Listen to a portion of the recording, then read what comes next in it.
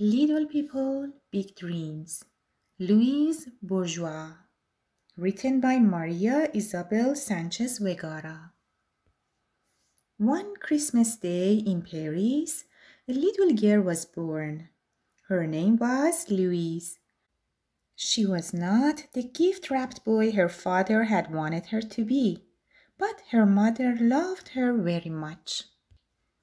Every day after school, Louise helped at the family tapestry studio, where huge pieces of fabric were dyed and sewn. Her mother asked her to help by filling in a missing section of tapestry. Here, Louise learned to draw legs and feet. One day, her mother became ill.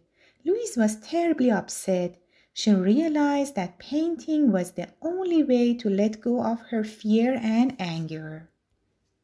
After her mother died, Louise decided to study art.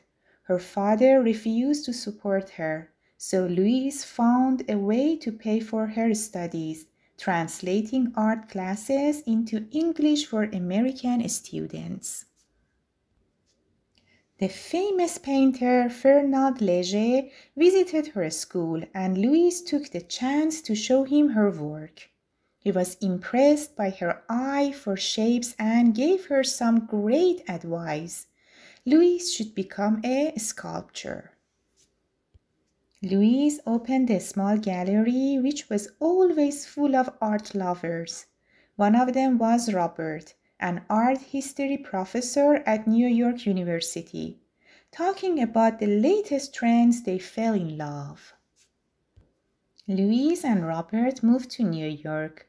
From the roof of her home, she saw huge skyscrapers that impressed her to create her first sculptures lonely people made of wood. Every night when her children went to bed, Louise kept working on sculptures inspired by her childhood memories. They were quite strange and looked more like a nightmare than a happy dream. Some of them were even scary, but for those who didn't know her, Louise looked just like a charming lady who loved to visit art exhibitions on the arm of her husband. Louise was 70 when the Museum of Modern Art in New York finally honored her work. People found the show shocking and disturbing, but couldn't take their eyes off her sculptures. She went on to create huge cages filled with strange objects she had collected throughout her life. They were dark and creepy, and it took courage for someone to dare to look inside. To celebrate her 80th birthday, Louise brought giant spiders to museums around the world. People felt like tiny ants next to them, but not her. They reminded her of her loving mother, mending clothes at her tapestry studio.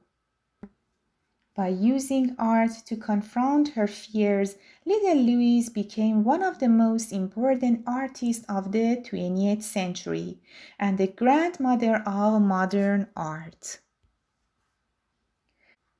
Born on a snowy Christmas day in 1911, Louise arrived to parents Louise and Josephine to their house on Boulevard Saint-Germain, Paris.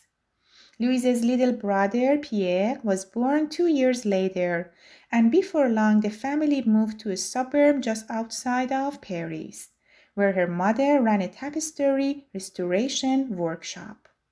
Around this time, Louise's mother became sick with the Spanish flu.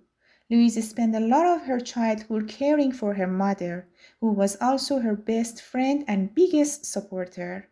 Louise's feelings of loss in these years would become the foundation for her work as an artist. When she went to college in Paris, she quickly became a talented painter and printmaker.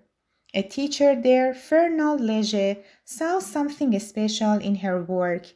He encouraged her to explore her work as three dimensional objects in sculptures. Moving to New York in 1945 with her husband Robert, Louise began to create sculptures using old wood found on the roof of her apartment. This was just the beginning of her 60 year career and the start of her story as the world's leading sculptor. Her retrospective at the Metropolitan Museum of Art in New York in 1982 was the first one devoted to a female artist. It was also the moment when the world sat up and watched Louise explore what it meant for women to be subjects rather than objects of art. Her bravery and passion for self expression paved the way for modern artists and art lovers alike. The end.